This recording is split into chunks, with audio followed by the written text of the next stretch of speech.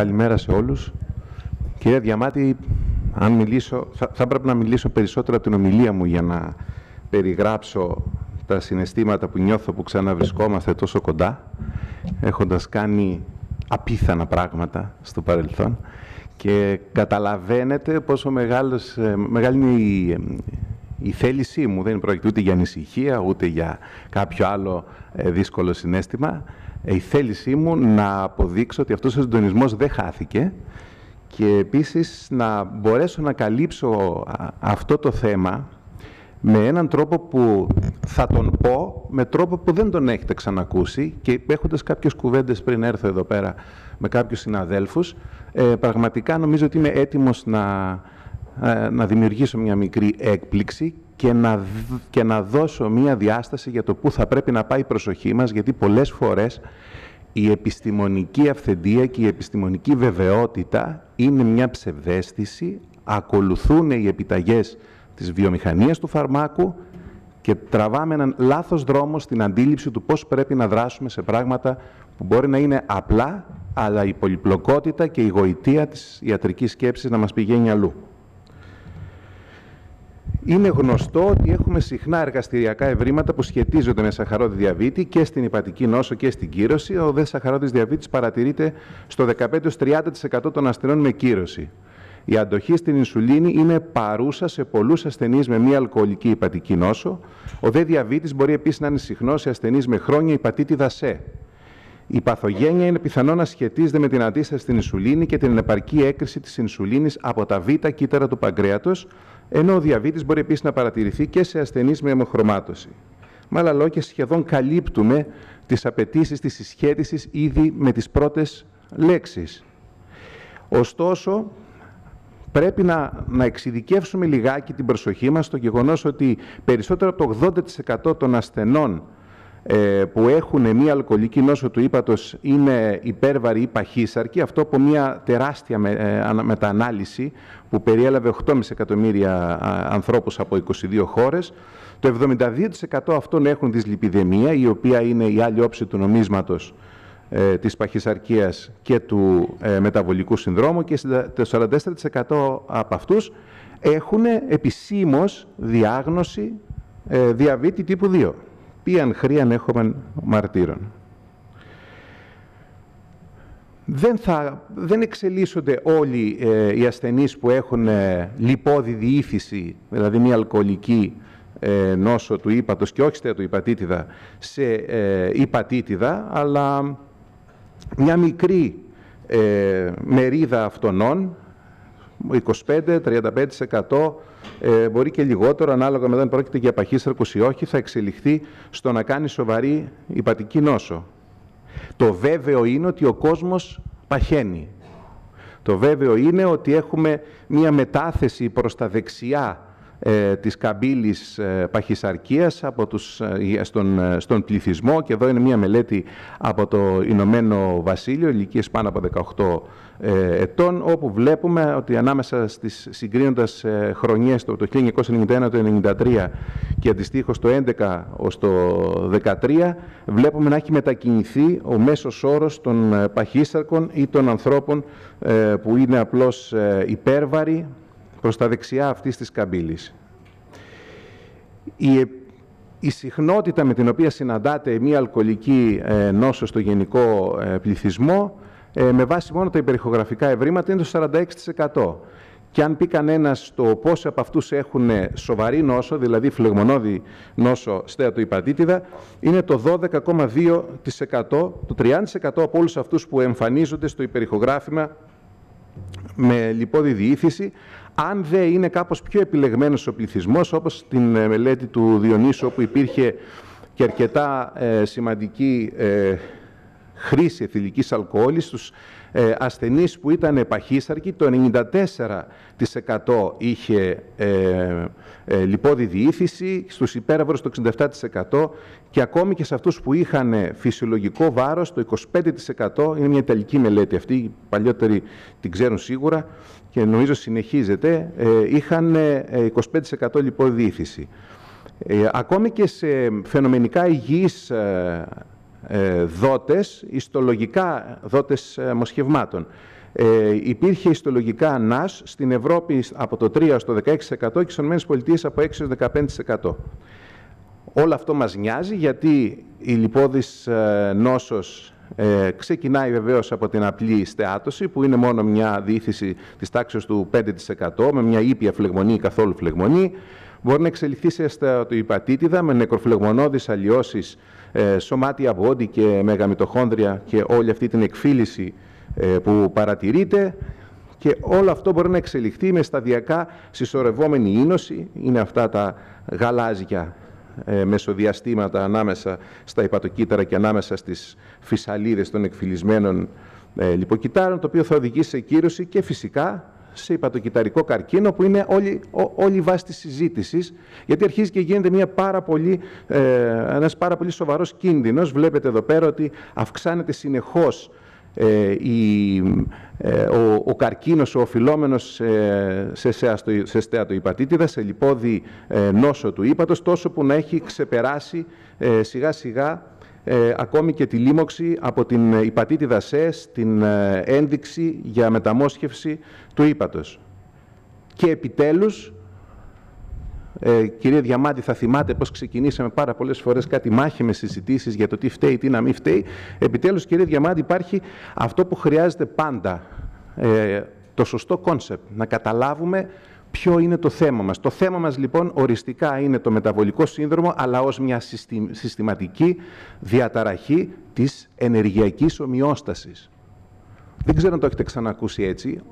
Έχοντας όμως προπαρασκευάσει το μυαλό μου και την ε, διάθεσή μου με τις, με, με τις ε, ε συζητήσεις και τις, ε, την παρακολούθηση της βιβλιογραφίας φυσικά όλα αυτά τα χρόνια, νομίζω ότι επιτέλους είναι μια πολύ σπουδαία αντίληψη για το πώς πρέπει να συζητηθεί στη συνέχεια. Για ποιο λόγο, γιατί η ενέργεια είναι αυτό που περιέχεται στις πευθύσεις θρεπτικές ουσίες και στο σώμα θα γίνει θερμότητα, ως έργο, κίνηση, θα πάει στο περιβάλλον ως αύξηση, ως αύξηση τους, ε, των ιστών, είτε ως απώλεια. Απλοϊκά πράγματα μπορεί να σας φαίνονται αυτά, αλλά για προσέξτε τα λίγο. Ε, στο κέντρο είναι ο μεταβολισμός, οι θρεπτικές ουσίες ε, υφίστανται τη διαχείριση για να παραχθεί μηχανική ενέργεια, θερμότητα και απόβλητα. Και βεβαίως διοξίδιο του άνθρακα και νερό. Και τι ορίζεται μεταβολισμός, όλες εκείνες οι βιοχημικές διαδικασίες που εμπλέκονται στην παραγωγή και απελευθέρωση ενέργειας και στην αύξηση.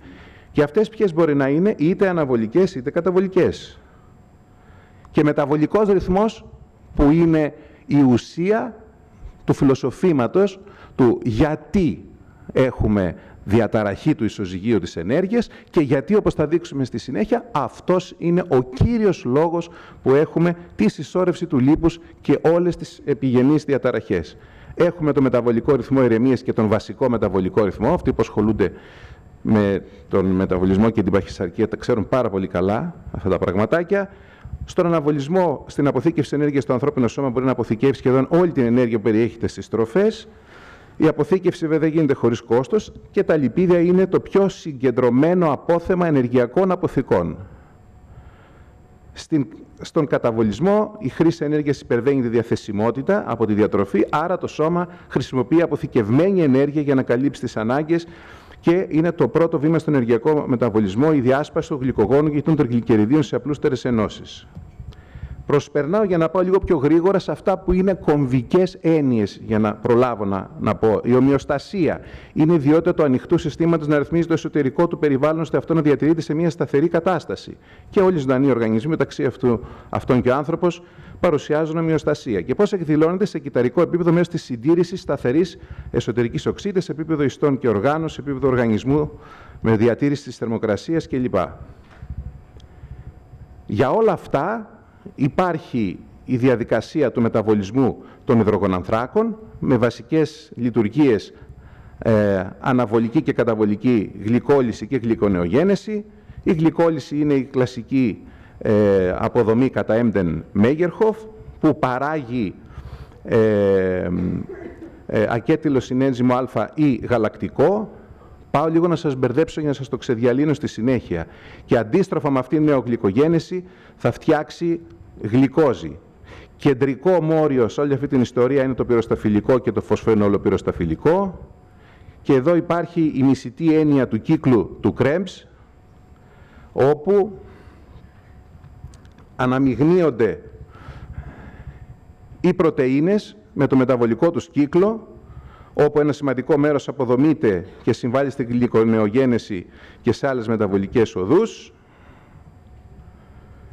Και βεβαίως κρίνεται πολλά πράγματα στο ισοζύγιο του αζότου, διότι ένα ορισμένο ποσό πρωτεϊνών συνεχώς αποδομείται με αποβολή του αζότου ως ουρία και μια αντίστοιχη ποσότητα πρωτεϊνών οφείλει να προσλαμβάνεται με την τροφή.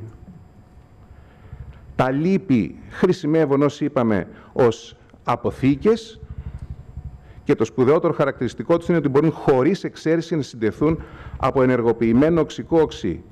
Κύρια μορφή τους είναι τα οδέτερα λίπη και οι τριάκυλογλυκερόλες, που είναι κατ' ουσίαν εστέρες, και ο ρόλος τους, λόγω της πλούσιας θερμιδικής τους σύστασης, είναι ως εφεδρικές ουσίες.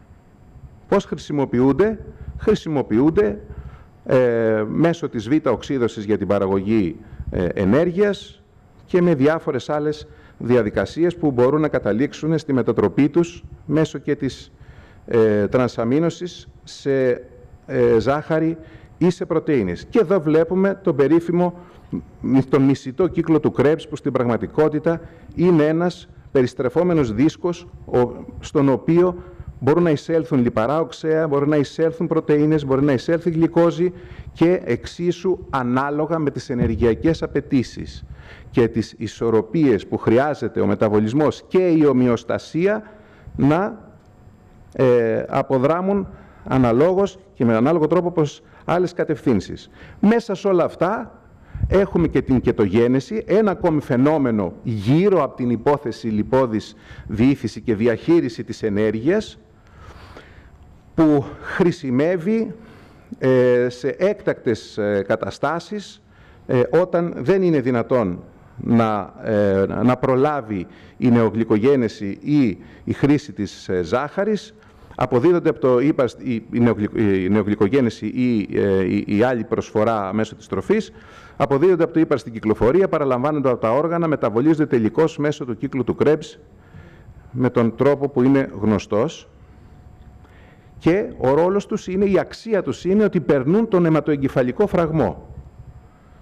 Τι σημαίνουν όλα αυτά, ότι υπάρχει ένας μεταβολισμός που γίνεται από μια ομάδα ορμονών, όλο αυτό που σας περιέγραψα μέχρι τώρα, είναι το βασικό σύστημα διαχείρισης και αλληλομετατροπής της ενέργειας. Δεν έχει σημασία αν θα φας ε, αρνάκι με πατάτες, σημασία έχει ότι στο τέλος θα έχεις φάει πρωτεΐνες, ε, ζάχαρη και λίπος.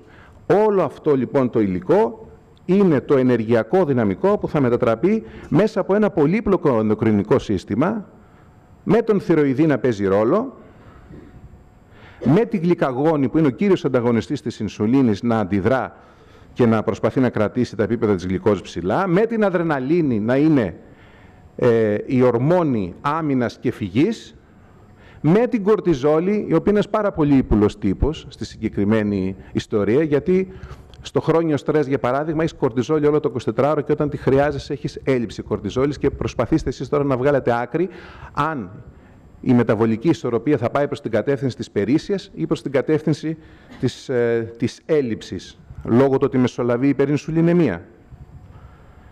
Οι φιλετικές ορμόνες επίσης παίζουν ρόλο και βέβαια υπέρτατος στόχος όλων το, αυτό που δεν πρέπει να χαθεί με τίποτε είναι η ρύθμιση της ροής ενέργειας και η αύξηση των ιστολογικών δομών και η συντήρηση των ιστολογικών δομών κλπ. Αλλά κυρίως η αυστηρή ομοιοστασία της γλυκόζης που είναι ο κύριος πάροχος ενέργειας στον εγκέφαλο και σταθερή απόλυτη προτεραιότητα.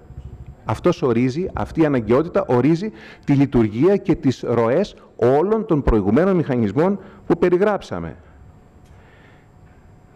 Όλα αυτά γίνονται μέσω του ε, του κύκλου του κρέμς, όπως είπαμε είναι ο κύκλος περιστροφής, δίσκος περιστροφής του μεταβολισμού προς όποια κατεύθυνση υπάρχουν ενεργειακές παραγγελίες ή βιοχημικές ε, ανάγκες και βεβαίως ερχόμαστε εδώ που είναι ο κόμβος που λέγανε και σε μια ταινία. Μικρή ε, ινσουλίνη αλλά κόμβος. Είναι η ορμόνη που στο τέλος έρχεται να ρυθμίσει γρήγορα τον μεταβολισμό και επιταχύνει τη σύνθεση των προσαναπόθεση ουσιών, πρωτεϊνών, γλυκογόνων και λίπους, μπορεί να χαρακτηριστεί σαν ορμόνης σιτεύσεως, έχει πολλαπλές δράσεις στους σκελετικούς μυς, με αύξηση της γλυκόλυσης, σύνθεση γλυκογόνου και τα σχετικά, στο λιπόδι ιστό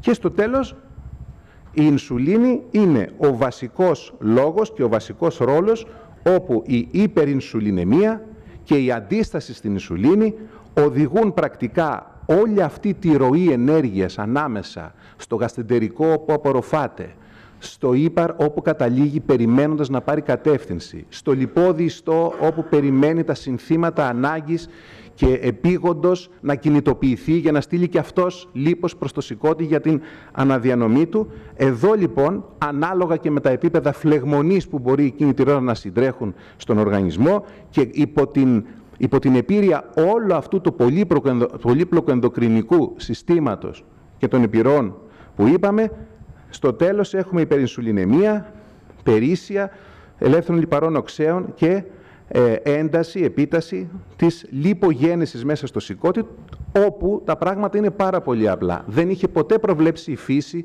τόσο μεγάλη ανάγκη για έξοδο του λίπους από το, ε, από το ίμπαρ. Οι μηχανισμοί έχουν μια βραδύτητα παλαιολιθική. Είναι αδύνατο να παραχθεί πιο γρήγορα από ένα αριθμό ε, η VLDL και στο τέλος έχουμε μια ανισορροπία ανάμεσα στην είσοδο και την παραγωγή λιπαρών οξέων και την τακτοποίησή τους, το παγκητάρισμά τους σε, ατοξικό, ε, σε ατοξικά ε, ε, μόρια φορείς όπως είναι η VLDL και η LDL με αποτέλεσμα να έχουμε συσσόρευση του λίπους των τριγλικεριδίων και του λίπους μέσα στο σηκώτη.